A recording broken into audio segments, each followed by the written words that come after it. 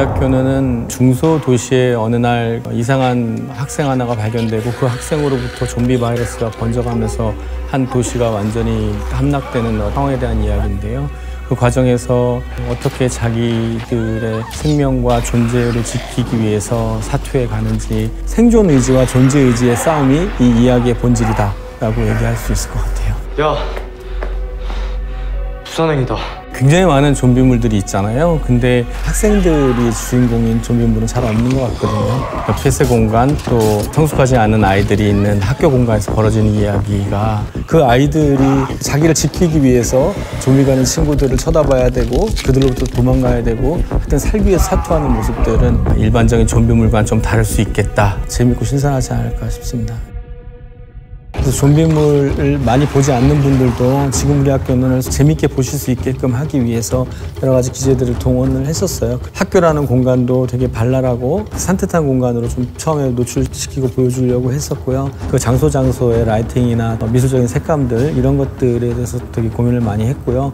이런 걸 또 온전하게 표현하기 위해서 100m에 가까운 세트를 지었어요. 그러니까 실제 4층짜리 학교가 지어졌다고 해도 과언이 아니거든요. 또 붉은 피와 아이들의 교복이 또 녹색이에요. 이런 보색 대비를 통해 갖고 좀 더 강렬함을 좀 줄 수 있으려고 했었고 제일 중요하게 생각했던 것은 현장감이에요. 실제 학생들 다운 느낌들 이 상황이 실제로 벌어지고 있는 것 같다. 현장감이나 현실감을 좀 주기 위해서 원테이크 샷들이나 롱테이크 샷들을 초반에 좀 사용을 많이 했어요. 교내 식당에서 좀비가 다 번져서 좀비가 처음으로 들어오게 되는 그 상황의 장면인데요. 한 200명 정도의 학생들이 있는 상태에서 좀비가 습격을 하는 거죠. 그 상황을 이제 원테이크 촬영을 했습니다. 리허설이 중요했어요. 수백 명이 되는 스태프와 배우들이 리허설만 하루 종일 했어요. 실제로 배우들이 행동하고 반응하는 양식에 따라서 콘티도 다 바꾸기도 했고요. 카메라는 그 아이들이 반응하는 것을 잡아내기만 하려고 했었던 것 같아요. 좀비로 변해야 되거나 좀비가 되는 배역을 맡았던 친구들은 그 좀비 안무 연습을 했습니다. 댄서 한 분이랑 배우 출신의 안무가 두 분이 좀비 안무를 하셨어요. 그러니까 두 분의 앙상부들이 잘 살아갔고 아이들이 그거를 수차례 걸쳐서 훈련하고 네, 그렇게 해서 좀비 표현을 할 수 있게 됐습니다.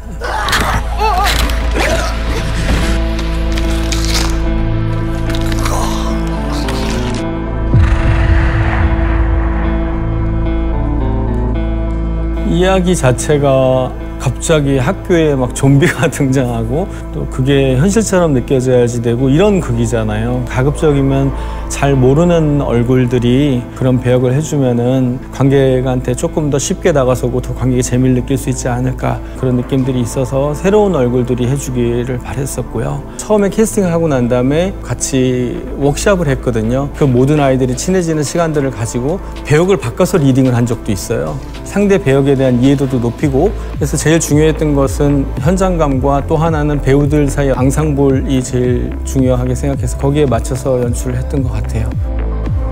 무슨 일이 있더라도 아무도 희생하지 않았으면 좋겠어. 온조 같은 경우에는 이 이야기의 화자예요. 주인공임에도 불구하고 두드러지지 않는 캐릭터를 가지고 있거든요. 근데 이 아이가 엄청나게 큰 경험을 하게 되고 성숙하게 되고 하는 그런 캐릭터이길 바랬고요. 모든 사람의 마음을 대변할 수 있는 그런 아이길 바랬었어요. 그리고 청사는 조금 느린 아이예요. 그리고 속이 많이 들여다보이는 좀 맑은 아이이기도 하고 그래서 그런 캐릭터를 좀 표현할 수 있었으면 했고 그런 배역에 맞는 아이를 캐스팅했어요. 남나 같은 경우는 자기 보호벽이 되게 강한 아이 그런 느낌들을 좀 염두에 두고 캐릭터를 만들어 가려고 했고 수혁은 사회적인 판단보다는 자기가 느끼는 감정에 충실한 캐릭터를 표현하려고 했어요. 대수는 오감에 충실한 아이예요. 항상 모든 것에 신나 있고 충실한 그런 캐릭터였었고요. 나연 같은 경우에는 충분히 많은 것을 가지고 있음에도 불구하고 고립돼 있는 아이예요. 그래서 혼자 있는데 익숙하고 그것으로부터 파생된 상처가 많은 아이고 귀남은 자칫 잘못하면 표피적이고 표현에만 집중하는 악역이 될 수가 있었는데 유인수라는 배우가 표현하는 것이 너무너무 깊더라고요. 두께가 두터운 그런 귀남 역할을 할 수 있지 않을까 해서 인수라는 배우를 캐스팅하게 됐고요.